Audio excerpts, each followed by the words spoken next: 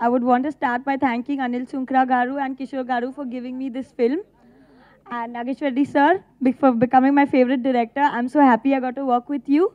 Raj, Vishnu, Sonarika, Ravi Babu sir, Rajendra Prasad sir, Satya Krishna sir, Hema ma'am, and the entire cast and crew of Edorakam Adorakam, thank you for making this experience so wonderful. Sai Karthik for giving such fabulous music. I can't stop listening to that song.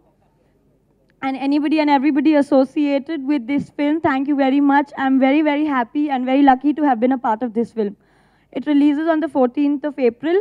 Please go watch it. I'm really excited about that one. Please watch it.